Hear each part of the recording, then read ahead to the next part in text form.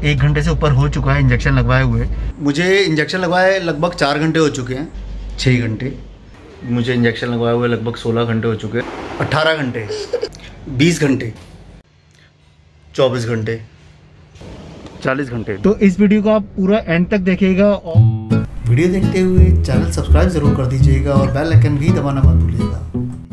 दोस्तों, ये वीडियो बहुत बढ़िया होने वाला है क्योंकि मैं निकलने वाला हूँ अपना पहला इंजेक्शन लगवाने के लिए कोविड का और ये मेरी पहली डोज रहेगी। बहुत मुश्किल से मुझे 18 प्लस में जाके ये स्लॉट मिला है और इंजेक्शन लगवाने के बाद मैं अपने आप को ऑब्ज़र्व करूँगा अगले 36 घंटे के लिए और इन सारी चीज़ों को मैं रिकॉर्ड करने वाला हूँ कि क्या चल रहा है। तो इस वीडियो को आप पूरा एंड तक देखिएगा और उसके बाद अगर आपको किसी भी तरीके की घबराहट है इंजेक्शन लगाने के लिए या आप देखना चाहते हैं कि भाई कैसा फील होता है, क्या होता है तो शायद मैं आपकी थोड़ी सी मदद कर पाऊँ। देखिए इंजेक्शन तो लगवाना बहुत ज़रूरी है और सावधानी बरतना भी बहुत ज़रूरी है। इंजेक्शन लगवाने से पहले तो बहुत ज़्यादा और इंजेक्शन लगवाने के बाद भी बहुत ज़्यादा। तो आइए इंडिया देखो विद विपिन श्रीवास्तव।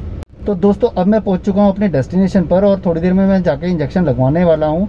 और फिर उसके बाद मैं इंजेक्शन लगेगा तो अगर उसकी वीडियो मैं बना पाया तो ज़रूर बनाऊँगा। लेकिन हम फिर ऑब्ज़र्व करेंगे और मैं हर दो या तीन घंटे के बाद अपनी एक छोटी छोटी वीडियो बना के, एक पूरी एक कंपाइल करके एक वीडियो बनाने वाला हूँ। अगले 36 घंटे अपने आप को ऑब्ज़र्व करूँगा। और उसके बाद ये वीडियो मैं अपलोड करूँगा। लोगों को अगर लगेगा कि उनको इंजेक्शन लगवाना चाहिए या नहीं लगवाना चाहिए। मे बी ये वीडियो उनकी हेल्प करे। तो इंडिया देखो। तो दोस्तों, मैं सेंटर पहुँच चुका हूँ और अब मैं वेट कर रहा हूँ अपने वैक्सीनेशन लगने का। यहाँ मुझे थोड़ी देर वेट करने को बोला गया और उसके बाद इंजेक्शन लगेगा। तो दोस्तों, पंद्रह मिनट इंतज़ार करने के बाद मेरा नंबर आया और मुझे मुझे पहला डोज दिया गया। और जिन सिस्टर ने मुझे ये डोज़ दिया था, उनका हाथ काफ़ी अच्छा था, मुझे दर्द का बिल्कुल एहसास नहीं हुआ। उन्होंने मुझे बताया कि ये बहुत ज़रूरी है कि डोज़ लगने के तीन दिन बाद तक आप किसी भी तरीके का नशा, जैसे सिगरेट, शराब, गुटखा, तंबाकू का सेवन ना करें। जो भी आपको खाना पीना है, आप वो सब नॉर्मल खा पी सकते हैं। और किसी तरीके के खाने पीने की कोई परहेज नहीं है सिवाय नशीले पदार्थों के। वैक्सीनेशन के बाद मुझे लगभग आधा घंटा इंतज़ार करना पड़ा और उसके बाद मैं अपने घर को जा सकता था।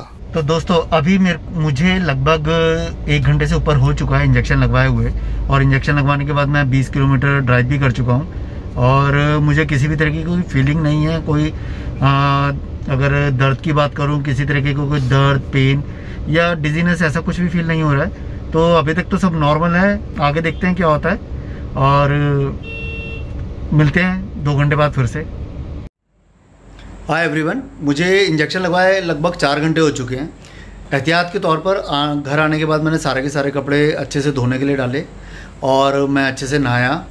नहाने के बाद मैंने आ, पानी वानी फ्रूट्स बहुत लिए क्योंकि जब मुझे इंजेक्शन लगाया गया तो मुझे बताया गया कि ज़्यादा से ज़्यादा पानी पीना है फ्रूट्स लेते रहना है, वो सारी चीज़ें।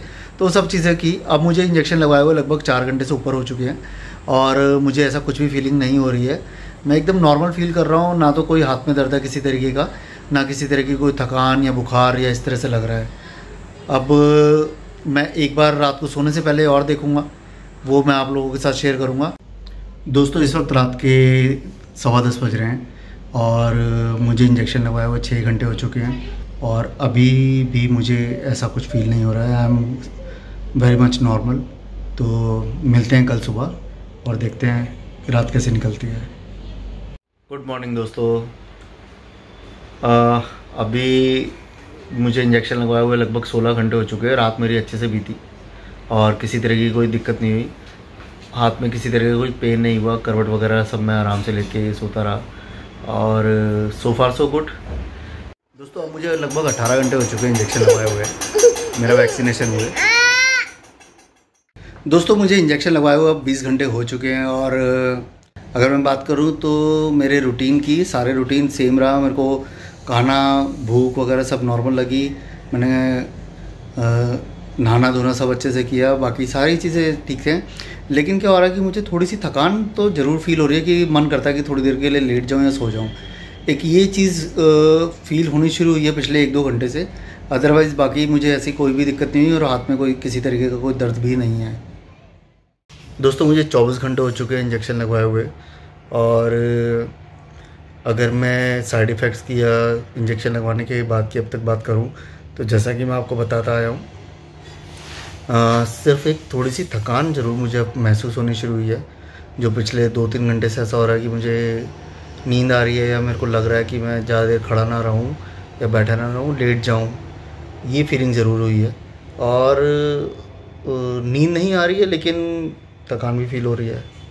तो ये एक डिफरेंस मुझे लगा है। बाकी सब चीज़ें वैसे ही चल रही है, ऐसे रेगुलर चलती रहती है। चालीस घंटे। दोस्तों मुझे अब वैक्सीनेशन करवाए हुए लगभग चालीस घंटे हो चुके हैं। तो मैं अपना वॉक कर रहा हूँ और सुबह मैंने अपना प्राणायाम वगैरह भी किया और किसी तरह की कोई दिक्कत नहीं है। तो मेरे हिसाब से आप ये वैक्सीन लगवा सकते हैं। आ, मेरे ऊपर तो इसका किसी तरीके का साइड इफ़ेक्ट नहीं आया। बाकी अलग अलग लोगों की बॉडी कैसे रिएक्ट करती है वो एक अलग चीज़ है। आप लोगों को इस वीडियो के बाद काफ़ी हेल्प मिलेगी, मदद मिलेगी और आपके अंदर अगर किसी तरीके का डर है वैक्सीन लगवाने का तो वो डर निकल जाएगा और आप वैक्सीन के लिए अपने आप को रजिस्टर करेंगे और लगवाएँगे भी और इंडिया के साथ साथ अपने आप को भी सेव करेंगे। अपना ध्यान रखिए, देखते रहिए, इंडिया देखो विद विपिन श्रीवास्तव, जय हिंद।